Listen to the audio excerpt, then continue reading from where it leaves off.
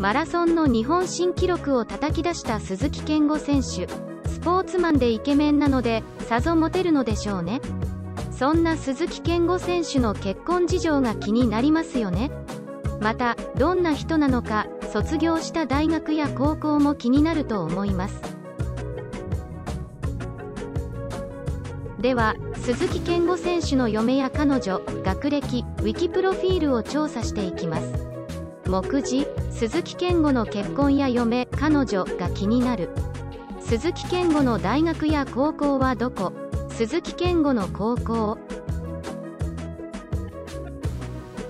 鈴木健吾の大学。鈴木健吾のウィキプロフィール。まとめ。鈴木健吾の結婚や嫁彼女が気になる。鈴木健吾の大学高校と結婚嫁。富士通所属の鈴木健吾選手イケメンだと話題になっています。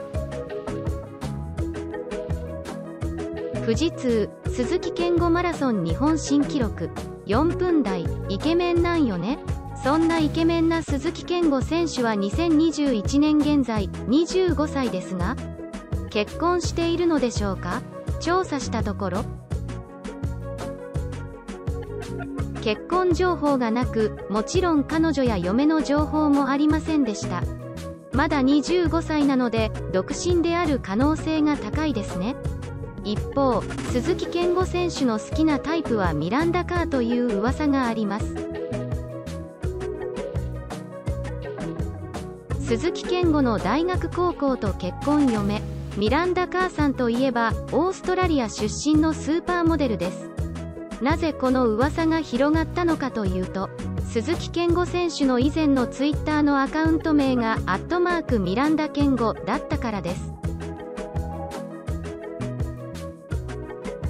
鈴木健吾の大学高校と結婚嫁画像引用元ツイッター。2021年現在のツイッターアカウント名はアット健吾アンダーバー鈴木になっていますが以前はミランダカーが好きでそのアカウント名にしたのかもしれませんね。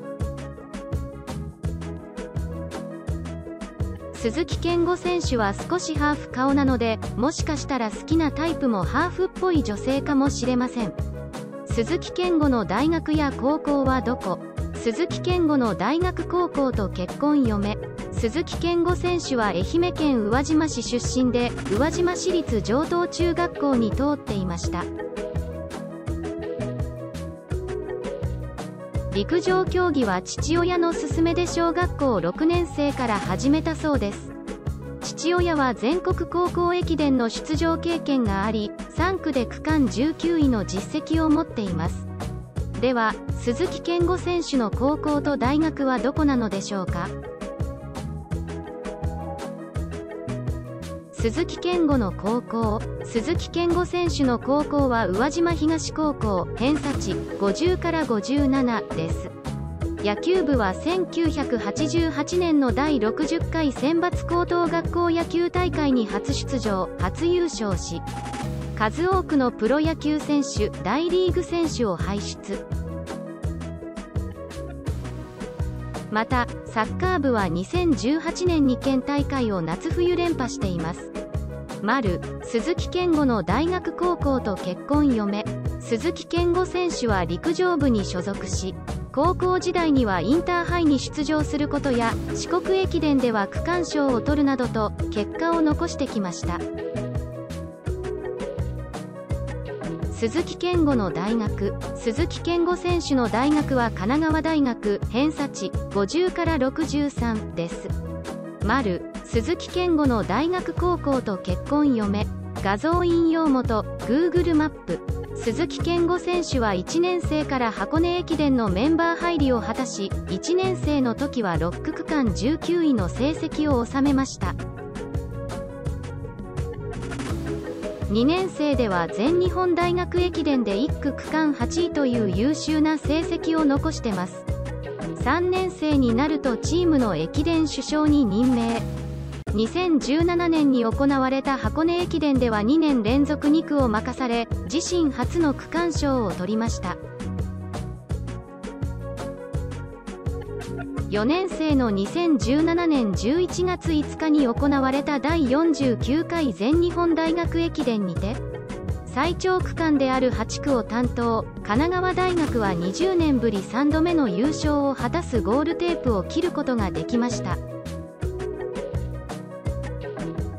鈴木健吾のウィキプロフィール。鈴木健吾の大学高校と結婚嫁。名前鈴木健吾鈴木健吾。誕生日1995年6月11日。出身愛媛県。身長 163cm 血液型 B 型。大学神奈川大学。趣味お魚鑑賞。好きな食べ物肉。種目長距離マラソン。2017年東京箱根間往復大学駅伝競争2区区間賞。2017年日本学生ハーフマラソン選手権大会優勝。2017年台北ユニバーシアード競技大会ハーフマラソン銅メダル。2021年全日本実業団駅伝6区区間賞。